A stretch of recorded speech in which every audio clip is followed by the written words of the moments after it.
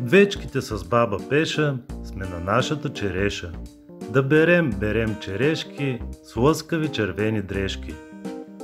Кошничките сме си взели, че черешките озрели, доста са понаедрели, клончетата са овели.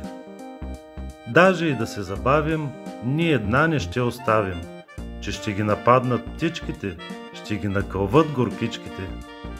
А пък щом ги оберем, вкъщи ще ги приберем и на воля ще ядем черешки колкото се щем.